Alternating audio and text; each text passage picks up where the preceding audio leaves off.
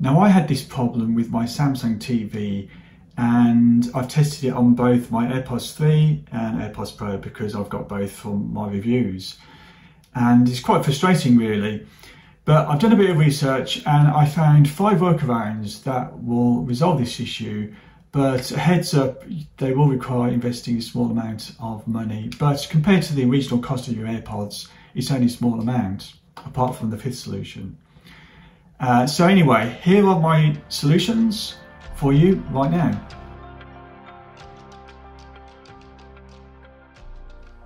Option 1 is to connect your iPhone to your TV with a lightning to HDMI adapter cable. This is the simplest and cheapest option, but unfortunately you can only mirror free content on your TV. And if I go to control panel, I can go to the audio and I can adjust the audio and I've got the full features of the audio in my AirPods, which is the spatial audio and the head tracking audio. So if you're watching a movie, that's really good because you've got all the full audio features of your AirPods. You can also use Siri to change the volume or pause or play the content you're watching. Hey turn the volume up.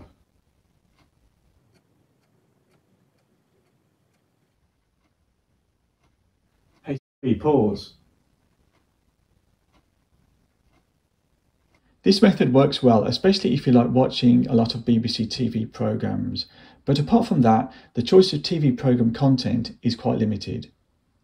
I also had an issue with no volume control after connecting my AirPods 3 to my iPhone when it was attached to the Lightning to HDMI cable, but this was easily fixed by removing the AirPods from my ears and then putting them back in.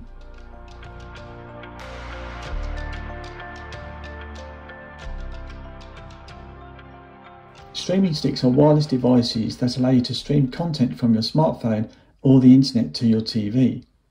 Three of the most popular streaming sticks on the market are Chromecast, Anycast, and Roku.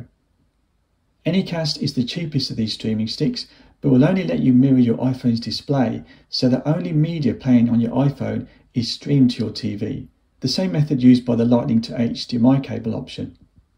This means that you can listen to and control your TV audio volume from your iPhone in the same way with the full functionality of your AirPods.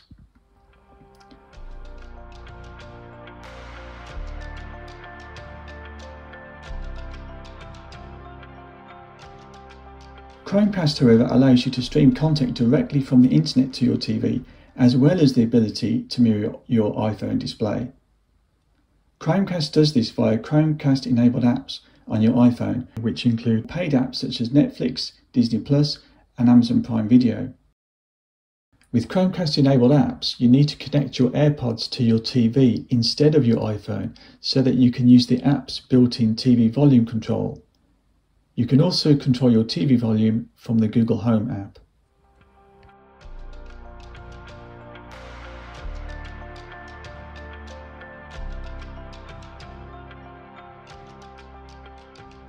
Roku is another popular streaming stick which offers a wider choice of content than Chromecast or Anycast, but the most notable difference is its slick user interface, where you can easily browse and search for media from your TV, including Roku original content, all of the popular streaming apps such as Netflix, YouTube, Amazon Prime, Disney Plus, Apple TV, and more. To control your TV volume using the Roku streaming stick, you need to connect your AirPods to your TV and select the option for private listening in the Roku Remote Control app, which you can download from the App Store.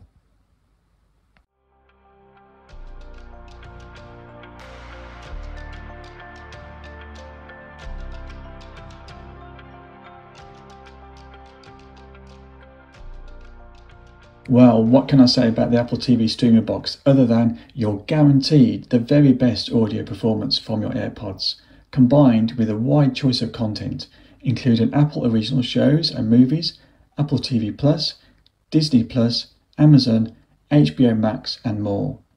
If you go for their 4K model, you'll get the smoothest and sharpest 4K playback possible on your TV, but you can also go for their slightly cheaper high definition model too. For fans of Apple's ecosystem, the Apple TV box is well worth investing in. But if you just want to get your AirPods working well with your TV, then you can save a lot of money by going with one of my other options. And here's a comparison table to help you decide.